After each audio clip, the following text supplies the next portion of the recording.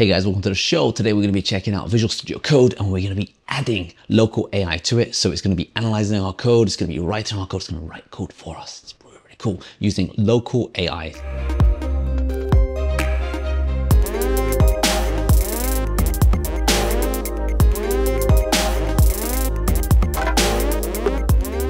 Nothing gets sent to the cloud. It's all private and you're not using up their credits, just using up your compute. So that's pretty good to me. There's three main ways to do it and we're going to be using all three main ways. We're sharing everything. First one is we're going to be using GitHub Copilot, except we're going to be running our models locally, not sending anything to the cloud. There's also Microsoft AI Toolkit. That one's more we'll see, we'll see how it goes. And there's also an open source one called Continue. And that one also allows you to explain the code, write code for you, do all this kind of cool stuff. We're going to be hooking up our local AI to it. And we're even going to be doing distributed compute with it, which means I'm going to be combining my MacBook Pro, my MacBook Studio, which means I can inference even larger models locally using both those guys together. And we're also going to be inferencing over the network. So that means you could even host your own private AI studio on the internet and just have that as your inferencing situation happening over there. So enough talk, let's jump on into Visual Studio and see how we go. So I've got Visual Studio running on macOS and I've also got it running on Windows. So it does work on both. Let's jump into macOS first. And this is a nice fractal demo that I've actually got the AI to write for me. I was happy, happy with that. So let's just see how it works. So with Visual Studio, out of the box, you get GitHub Copilot installed by default. If you don't already have it, you can go into the extensions tab here and GitHub Copilot chat. There's an update available. You can pretty much install it. Now, one thing I do recommend with Visual Studio, in case you don't know, if you go into settings, you go check out telemetry, because I figured you guys are local people. You probably don't want telemetry going out there. You need to turn that off. And secondly, to get GitHub Copilot chat working, you also want to type in Ollama and you're to be adding in your server URL here. But we're going to get to the setup at the end of the video. For now, we'll just demonstrate it in action and it rocking. So with GitHub Copilot, you can just grab a piece of code here. You right click and just click on explain. Now we've hooked up already remotely our, this is Qwen 3 Coder 480B. It's a large, large model. And we also enabled a distributed compute version of GPT OSS, which means our MacBook Pro, Mac Studio, going to be combining together to run that a lot more easy. So it's now going ahead and using the connection that we made into Visual Studio to explain the code for us.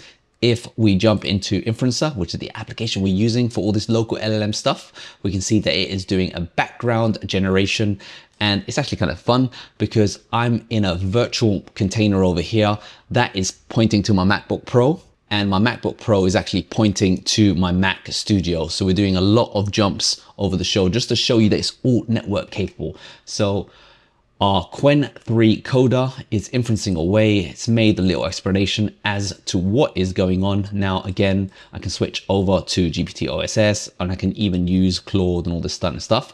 Now, one thing to note with GitHub Copilot is that it, you do require an account. You can get a free account and they give you some credits to use per month. But there you go. And you can continue to chat to it. So I'm saying, oh, that sounds good. Can you make it better? So in the background here, we got our local copy of Inferencer running on my MacBook Pro. It's doing a background generation remotely to my Mac Studio. So my Mac Studio, if I've connected that over here. It's also doing a, back, a background generation. And if we look into it, that is the guy that is going to be inferencing away. That's what's using the graphics card over here. And memory wise, we can see that that model uses 370 gigabytes. So it's huge. So there you go. It's saying I'll help improve your Mandelbrot set generation code First, let me check the current file structure. So it's going through my file, figuring out what's going on, and it's all integrated there into Visual Studio Code. And it's saying that it's gonna optimize the code by vectorizing the operation. So rather than us doing things one by one, it's gonna be doing all in vectors. So with GitHub Copilot, you do get this option to apply in editor. So I'll click that. I'm gonna add it to awesome.py and hopefully, boom, just like that, it's rewrote my class, it's rewrote my file and we get to choose to keep or undo the changes. I'm gonna click keep and we can see this is what it looks like now. There you go. We got some nice zoom controls. It rewrote that just live. You can go ahead and play with different parts of the code, figure it out. So that's GitHub Copilot, works out of the box, all that kind of stuff. There's also, next up, we're gonna be checking out AI Toolkit for Visual Studio Code. but you click on this icon here. It's got a lot of adverts for you to pay for models, but I've got it set up with Ollama and OpenAI endpoints. So we've got, got Qwen 3 Coder over there. You double click it and you got Playgrounds. So you can say, hello, Qwen. You can ask it questions about the code. It's more like a chat interface, this one, but it does have some cool features. Like for example, it's got something called an agent builder. It's got an evaluation tool. So with the evaluation tool, you can give it sample queries and run it with different models on your system to see what kind of results you get. So you get comparison tools and it's got a lot of things you can get in into that situation. So that's all set up and running and we're all also using it locally. And the last one we're gonna be looking at is Continue. This one's an open source AI code agent and it's got Ollama compatibility. So that's what we hooked ourselves into. So continue is just over there. So we're going to go back to our code, awesome.py. And with this one, you get shortcut keys. So there's command L and you can say explain this function. It's going to go ahead and utilize the model that we've picked. So we've picked 3 Coder again. So it's running over here on our computer, doing a background generation remotely to the server. And you can even instead of doing instead of having a conversation with it, you can press Command I, and that one allows you to change the function. So make it more awesome. So now this isn't a chat interface, more of a generate interface, and it's going to be rewriting this code block for us. Click it right there. It's got a whole bunch of changes to the file and you get to choose if you want to accept or reject the changes over there. So I'm click accept, accept, accept, accept, I'm accept, accepting everything. It's a, a Black Friday special. Looks the same to me, but maybe it has changed. Maybe it looks, something's happened basically. Can you make it rotate? So accept, accept. It looks like it's putting some rotation code. Let's run it in then. And look at that, it's rotated the image for us. So this is kind of like a way to rewrite your code using prompts and it's all built into Visual Studio. Now this was on the Mac, but again, it also works on Windows. So again, I'm gonna use GitHub Copilot, that one's clicked out, except instead of using Qwen 3 Coder, I'm gonna be using distributed compute. I'm gonna use my MacBook Pro combined with my Mac Studio to run GPT OSS and I'm going to say fix. Let's just say generate code fix, make it better. Let's just see what it does. So it's gone ahead and rewrote that function for me and I get to accept it or close it. So that's the after and previously that was the before. Just wrote that for me. That's GitHub Copilot. It was using distributed compute, open AI GPT OSS, all built into Visual Studio running local AI. So to set it up, this is what you do. I'm using Inferencer version 1.7.3. If you go in there, you go into the server tab and you click on serve and you set up a server and you got to have Ollama or OpenAI compatibility. For GitHub Copilot, Ollama's the one that works. For Microsoft AI Toolkit, you want to be using OpenAI. And for Continue, that one uses Ollama. But basically, if you tick those two, you're good. You got to disable SSL encryption so you can work with those packages. And if you do want to combine your computers together, you allow distributed compute. And if you want to host it on the internet, you allow internet connections. By default, it only allows IP connections using over, over your local area network. So if you don't take that, you're, you're safer than having randos from the internet trying to use your resources. So my server is started up, so that's up and running. If you go into the Connect tab, you can verify your server settings. And this is all the links that you use. So if you want to see all of the models we're supporting, the tags one is Ollama's API. So you just type in curl, and these are all the models. Looks kind of daunting. You can also do open APIs models endpoint, see what you got. So curl, that one. And these are all the models that we support. So these are all the models that are on my computer. The remote ones are the ones that are on the remote server I'm connected to because I'm this computer's, my Mac Pro is also connected to my Mac Studio. And the distributed ones are the ones that have the same model on both of these computers. And you can see all the models here. So to hook them up in GitHub Copilot, you go into code and then settings and search for Ollama and then this is your URL that your Ollama is hosted on. We're using Ollama compatible APIs on our server. So we're going to be using this URL, paste it in there. And then in GitHub Copilot, if we just launch that up, the side window, if you click on the bottom here and then manage models, you click on Ollama and it'll give you a list of all the models that the endpoint supports. So I've enabled Qwen3 Coder, the big one, and I've also enabled GPT OSS. I can go ahead and enable the smaller one, the smaller Qwen3 Coder. Click OK. And now in that list, I've got the smaller distributed version of that Qwen3 Coder. I'll say, hello, is this file cool? And if we check here, we got a background generation, which is what it was working on when I launched it. I'll close that down, but we've also got distributed generation, which means both of our computers are combining together for it. And it's as easy as that, just all set up for you. Sometimes when you click on manage models and Ollama, nothing actually appears. So all you have to do is just click manage models and then Ollama, click on it a second time. Worst case scenario, you can do command shift P and reload window and that will just reboot your window. On Windows, you do Control Shift P and do the same thing. So if I click on Manage Models this time, it appeared, but sometimes the first time round it doesn't appear. Just little bugs here and there. This is the state of play as it is today. So that's GitHub Copilot all set up for you. To set up, I guess the next easy one to set up is Continue. That one, you just install it. And if you go into the settings, I'm gonna click on Models, Configure that will launch this YAML file. Now this YAML file is huge by default.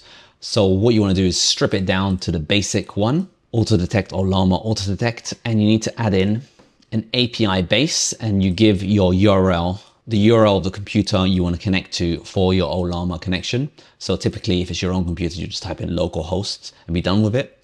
But because I'm actually connecting to my computer over the network, well, my virtual machine is connected to my machine, just to demonstrate that you don't have to do it locally on a machine. You can have your own edge kind of situation. As soon as you save that, it's going to go ahead and request the models and they should appear here in this list.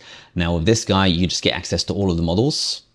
You don't pick which one you want to use, but once it's set up, it's pretty, pretty cool because you can just say like command I, make this more fun and save it to a file and I'm going to select Qwen, Qwen 30B. I'm going to run it distributed again over both computers. Now for this model, it's small. I don't need to run it over both computers, but I'm just showing it running over both computers to demonstrate that you can be used for even bigger models. Now, one thing I don't like about these tools is that you're very just like waiting around to see what's going on. Like if you use the application directly Inferencer, you get like a loading screen, you know what's going on, you get tokens per second, you know exactly what's going on. So what I personally like to do is just copy the code in and then paste it in. And that way I know what I'm doing. But when you're doing things in the background here, you're kind of just waiting around to see what's going on, what's going to happen. So it's out, it's written out, a main.py, it's still generating it. This enhanced version includes modern Python, hints, data classes, and it's got awesome features. And at the top here, I can just click on create file and save it. And it's made an awesome application report. Don't know if it's more awesome. Maybe I should have chosen a bigger model, but it's happy with itself. And the final one is Microsoft AI Toolkit. So AI Toolkit for Visual Studio Code. You install that one. This one's a bit more trickier to set up, but we'll do it nonetheless. So you click on models catalog and it's going to show you all of the models available. So there's two different models it supports. One is Ollama and bring your own model that uses the OpenAI endpoint. So you click on that and it says enter OpenAI compatible chat completion endpoint. So I'm going to go inside Inferencer over here, go into server and go into my X-Pro local. This is my server instance running on this machine. I can see from the OpenAI endpoints, I want to be using the chat completions one. So I'll copy that and I'll paste that in there enter the exact model name as in the API, go back into Inference over here. I can see these are all the models I have available. I'm just gonna run a small one just to get it going. So I'll paste that in there. API key, there isn't one, so I've just wrote X. So now the model should appear in my models list over here. So I should have Llama 3.2, double click on that, say hello, Llama, if that is your real name. And I am talking to my computer and it's given the results straight away. And you can just use any model that you please. So I chose Llama 3.2, but I can also pick a distributed version. So again, let's do GPT OSS 120B. Yes, I don't have that installed, so that's perfect. So I click on models again, press plus, and I can do the custom model here with the OpenAI endpoint. Except this time around, I'm going to do a llama model. So I'll click on that one and select models from Ollama library or choose an Ollama endpoint. I'll choose the endpoint and I'll just paste in my IP address. And here are all the models I can pick from. It's already hooked up, so I don't need to manually copy and paste in my models. So I'm going to choose, let's choose Qwen. uh, you know what, let's do Minimax remotely. So I'm bouncing it off my MacBook Pro to my Mac Studio. We're on Minimax, select that one. And it's just appeared over there, just like that. There's a compare option. So I'll click compare it with Llama 3.2 and say write uh, Python code to tell the time in. So we ran 3.2 really quickly. I'm actually comparing 3.2 with 3.2. So I'm going to be comparing Minimax with Llama 3.2. So first it's doing a Minimax generation. So we're going to be waiting around a little tiny bit for Minimax to load into memory. That's probably the slowest part of this situation. But once it's loaded, it's going to inference away. And if you do reuse the model that's already loaded into memory, you won't have to wait around for it to load. But for now, there you go. It's loaded up and it's doing pretty, pretty fast. Can't complain. It's printed out over a thousand characters. And one of these things about these um, extensions that you use, they give a large system prompt as it is. So it's a lot of things, but as you can see, it's thinking about it, it's figuring it away, and then it's going to do a comparison with Llama 3.2, and hopefully it's going to blow its socks because that guy's like 200 gigs, and this one's three gigs. So there you go, uh, three different ways to integrate local AI into your Visual Studio Code. Again, I'm using Inferencer version 1.7.3. should be out very, very soon. And, you know, a new way to code. Again, personally, I just like copy and pasting in and finding out exactly what I'm doing, giving it the context that I want exactly, giving it the exact context I want to give it. Because sometimes when you give it too much, it does go a bit crazy, especially if you add in tool calls. There's a new feature called allow tool calls. And I found that I'm like asking a model about Swift and it randomly starts going on to Apple's website and just getting the latest documentation, see if anything's changed. That's a, a, fun experience with these models. But let me know what you guys think. And actually, one more sneak peek. This is currently on macOS, but we do actually have a Windows version. Maybe I can give you a little preview. So over here, this is the Windows version, runs exactly the same as the Mac OS. You even got the token inspection and the models list. It's close to release. If you guys are interested in it, let me know and I can prioritize it and release it very, very soon. And also if you're a Mac guy, not Visual Studio Code, this stuff also runs in Xcode with Xcode Intelligence, where it can also do its agentic features and rewrite code for you. In the future, it's gonna get better. Let me know what you guys think. Hope you guys found this video useful and enjoyed the show. It's live. It's writing my code for me. I don't even need to make this application anymore. It's gonna make it for me. Make this application for me.